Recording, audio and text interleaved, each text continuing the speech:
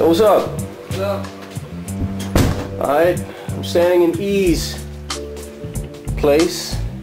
I'm in the hallway right now, as you can see, obviously. And uh, this is the living room. Check it out. That's the man himself, ERC. What's up, yo? What up, man? How you doing? This is some underground shit, you know what I'm saying? Word up, this is the studio. The Fusion Deal Production Studio. There's some turntables on the left. That's the Soundcraft Ghost. Alright. Nice screen. And uh, equipment right there. So you got the uh, Sonic sampler. Word up. You know what I'm saying? That's the mic.